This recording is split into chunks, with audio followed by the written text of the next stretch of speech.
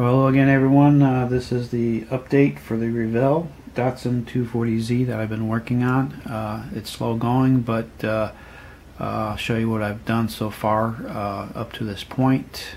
Um, basically, we've got the uh, engine as well as the uh, front and rear suspension installed, as well as the muffler um, and the fuel tank.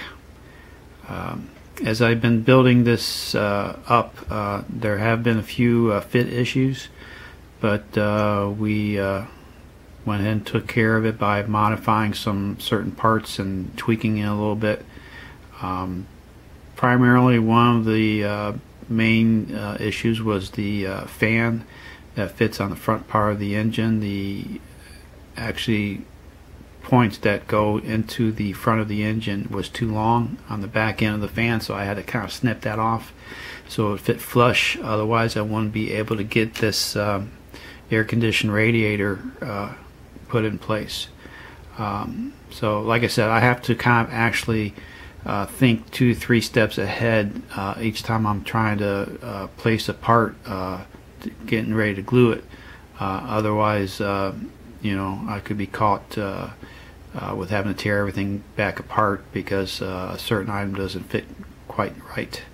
So, uh, uh like I said, a lot of dry fitting, a lot of uh, trimming of flash uh, on a lot of these parts when I'm taking it off the sprues, and a lot of cleanup work. But like I said, this is where we're at right now. Um, as you can see, I, I, painted the air cleaner red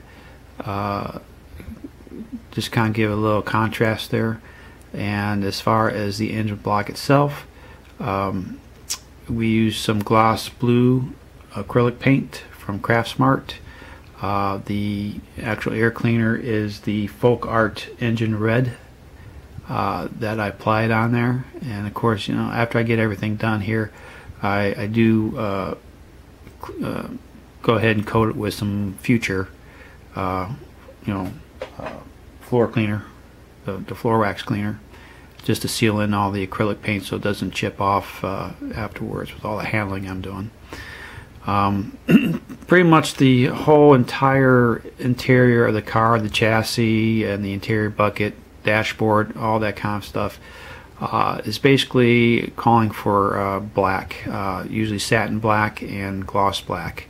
Um, as you can tell, uh, the uh, chassis itself uh, uh, is satin black, uh, and the air conditioned uh, radiator I kind of painted as a gloss black just to kind of give a little contrast in color.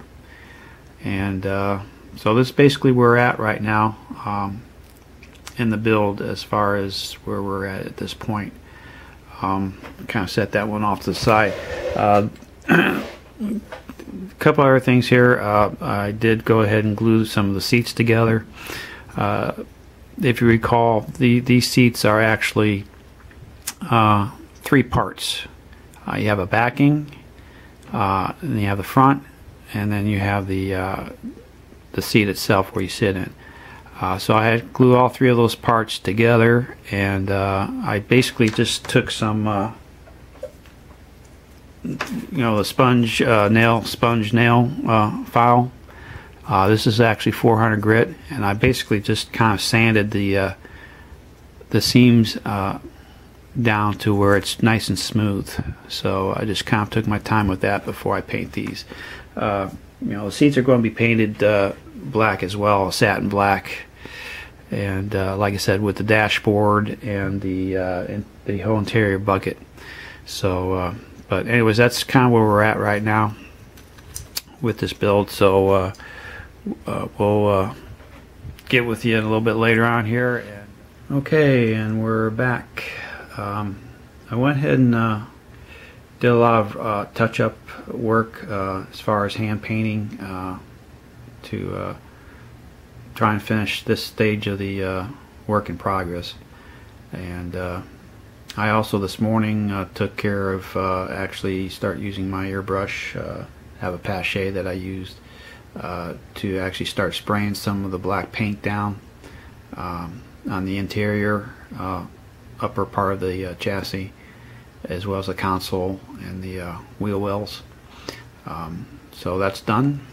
And if we turn it over here, I also went ahead and dirtied up the rest of the uh, you know transmission and the uh, exhaust and everything using uh, just thinning it down with some wash um, just to kind of uh, look like uh, it's been you know not a brand new showroom type of situation but more of a dirty look to it since this is a I want to make this car like a working car. Um, I had one little issue here in the back uh, kind of bring this in hopefully I can keep it in focus uh, but when I was installing the exhaust system here, uh, as far as the directions, it basically doesn't tell you where to position it. Uh, so I just kind of basically laid it down uh, where where I thought it needed to go. Uh, there is no uh, brackets or any kind of indentations to tell you where to put them. So I actually just had it kind of laid on top of the A frame part here and the end return on this end. Uh, and I actually glued it with some CA glue um, which kind of melted the plastic a little bit but I kind of trimmed it up a little bit but it's it's in place now. Because the thing kept on trying to pop up off the A-frame uh, previously. So uh, we got that resolved so other than that uh, uh for right now uh, the whole underside of the chassis now is brushed on with some future to seal in all the acrylic paint. So that is good to go. And I also uh, changed the color scheme on the um, air filter. It used to be the engine red from FolkArt and I actually changed it over to the holiday red for Craftsmart to kind of give it a brighter uh, look to it. So it kind of pops out a little bit better. Uh, you know once again the actual uh, engine block itself is the uh, Craftsmart uh, blue gloss. And uh, once again the whole engine fan everything is now all sealed and ready to go with uh, with the future pledge. So uh, I'll set that off to the side. And uh, what I also did too is went ahead and sprayed my seats down since I let them sit overnight um, you know curing and so now we have a nice, uh, let me see, let me bring the light in a little bit more here. But uh, yeah, we have a nice little satin black uh, look to the uh, two driver seats, two bucket seats. And so that is done.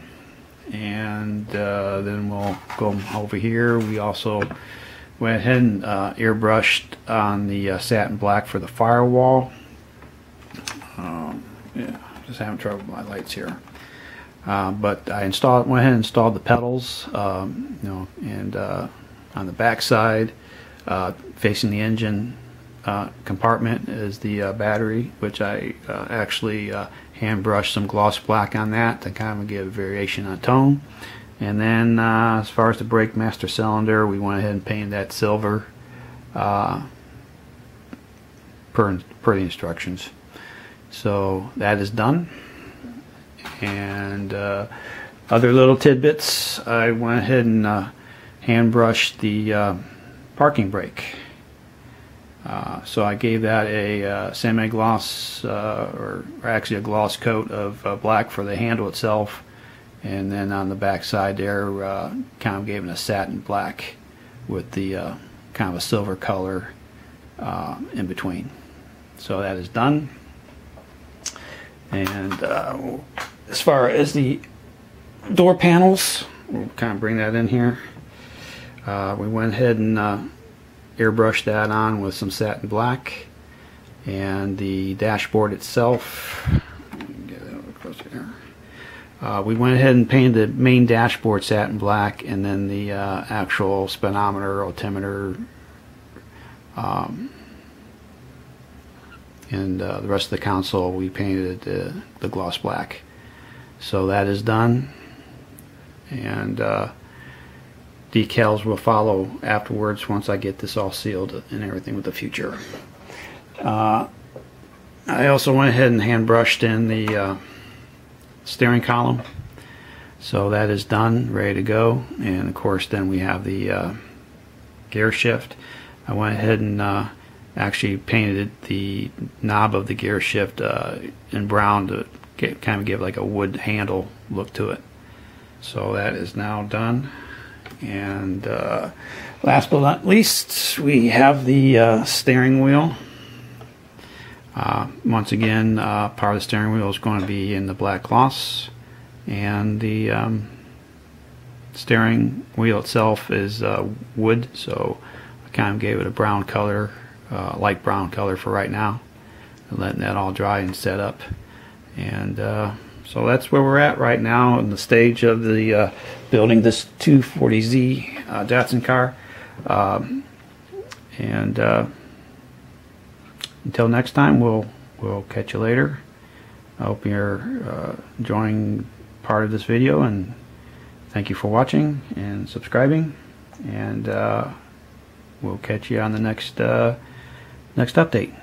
Till then, have a nice day.